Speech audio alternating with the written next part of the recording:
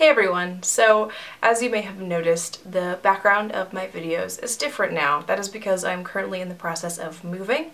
I'm sort of in between permanent residences right now and am at my parents' house. So this is my mom's bookshelf. I thought it'd still be kind of fun to have that in the background. When I was packing my books, I was confronted with an issue, one that a lot of you can probably empathize with. I didn't want to pack all of my books, but of course it was not really realistic for me to bring all of them with me. So I limited myself to 10 books that I was going to bring with me to my parents' house because it is, I do have the library and I also have their book collection which is massive. So I'm definitely not out of books. I'm not ever going to be in danger of not having something available to read, but at the same time, I'm very attached to my book collection. I love it, and there are so many books on my unread shelf that I really, really want to read. I just haven't gotten to yet. So I decided to pick ones that I really wanted to read and then I ended up going to the used bookstore and picking up a couple of things that I ended up not packing either because I was really excited about them. So I thought it'd be kind of fun to share with you the books that I decided not to pack and my reasonings behind that just because it was a little arbitrary but I'm really legitimately excited to read all of these things. And also now because I have them, I thought it would be fun to share the books that I got from the VidCon book swap, which of course I have no footage of to show you, but I was there and it was fun. But I want to start first with the books that I didn't pack. First is one that I picked up at the used bookstore right before I moved, and it is Stone Mattress by Margaret Atwood. The only Margaret Atwood book I have read is The Handmaid's Tale, which I really enjoyed and I've read a couple of times and I've been really wanting to read more Margaret Atwood. I saw this at the used bookstore. It's a hardback and it was only $8, so I couldn't resist.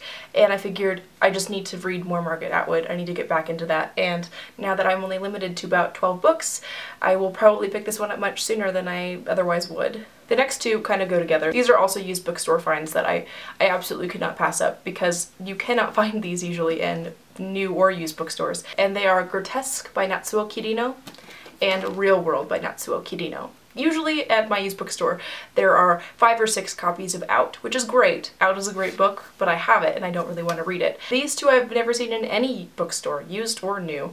I've kind of accepted the fact that I would have to buy them online eventually, but then I found them in store and I was really, really excited about them. And also they're in relatively good condition and one of them is hardback, so it was really nice find. I read Out two years ago and I also read The Goddess Chronicle at the end of last year, both of which I enjoyed. I liked Out more though, and these are both more along the lines of Out because I think that they're both crime fiction, which she does very well. She's super gritty, and I really enjoy that style of hers. I don't know what either of these are actually really about, but they're crime fiction, and they're Japanese, so, you know, in my wheelhouse, definitely gonna like these. Next is one that I'm also really excited about. I got this when I was in Chicago a couple months ago, and it is Get in Trouble by Kelly Link.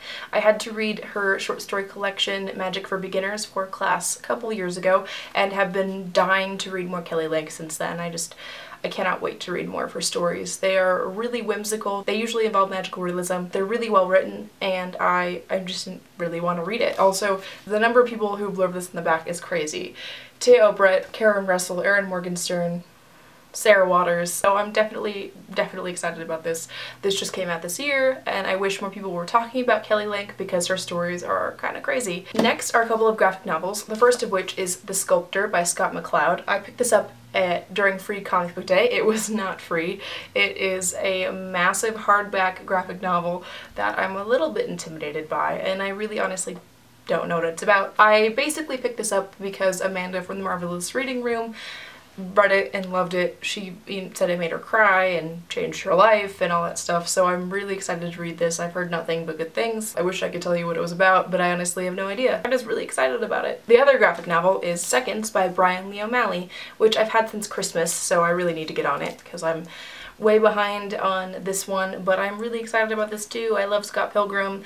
I've heard mostly good things about this. I know it made a lot of people's best books of 2014 list, so, you know, uh, that's a good sign, and I figured it'd be something that would be a little bit quicker, not as quick as a normal trade, but, you know, something that was relatively fast-paced. I also have The Tiger's Wife by Téa Obreht, which I've been really wanting to read for a long time. Since I got, I've, I've heard about it first from Colleen over at Little Ghost Creations a couple of years ago.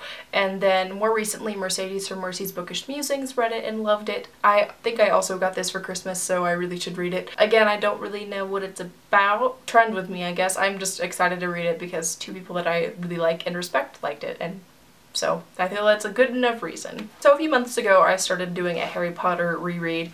I thought it would be fun. I haven't really read them as an adult. I read them every summer during high school, but it's been a while since high school, so I thought I would start doing that again, and I've read the Sorcerer's Stone and the Chamber of Secrets within the past year or so, so I'm going to continue with the reread. So I have The Prisoner of Azkaban and The Goblet of Fire. I don't know why I left these aside because my parents actually own copies of these, so it was kind of a waste, but I think it was partially just because these books are so beautiful, particularly The Goblet of Fire. I really love the design of these editions and The Goblet of Fire I think is the coolest because it has the dragon on the front.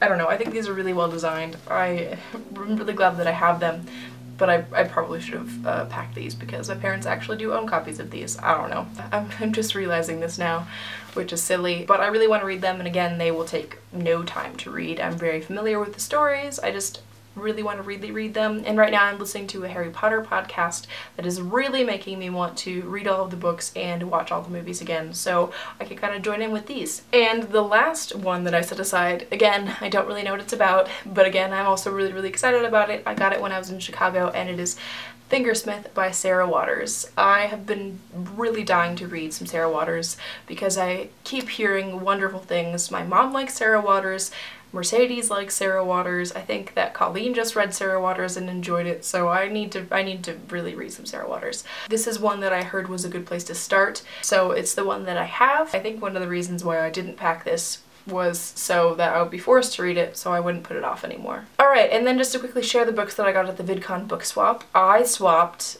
a copy of In the Woods by Tana French and The Secret History by Donna Tartt. They're ones that I got at the used bookstore and I thought would be good additions because there wasn't a lot of adult fiction at the VidCon book swap honestly and I thought it would be refreshing to have that. So I swapped those and I hope that they went to people who will read them and love them because they're both great books. First of all, I got Newt's Emerald by Garth Nix. I honestly picked this up because I have never read any Garth Nix before and I again figured this one would be relatively fast but it is a proof which was kind of exciting. I don't really ever read proofs so it was exciting for me and I figured it would be a good starting off point with Garth Nix. That supposition is based upon nothing but oh well. And the other one I got, I honestly didn't even read the back. I didn't care. It was one that no one was picking up and I thought looked intriguing so I decided to give it a home and it is called Burying Water by K.A. Tucker. All I know is that it is a thriller. I figured it'd be a good summer read and no one was picking it up and I thought that, that was sad. Sorry that I can't share much about the actual plot to these books. I haven't read them yet. I thought I would share them with you because I'm really excited about them and they're the ones that made the cut. I will have access to my entire bookshelf collection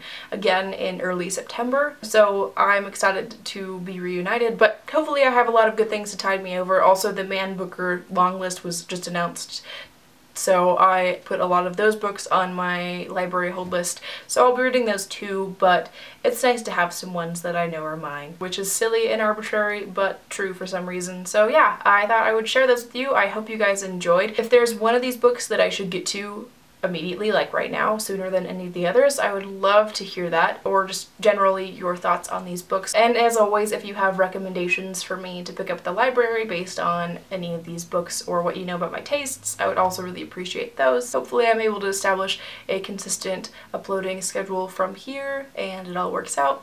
Thank you so much for watching and I will see you next time. Bye!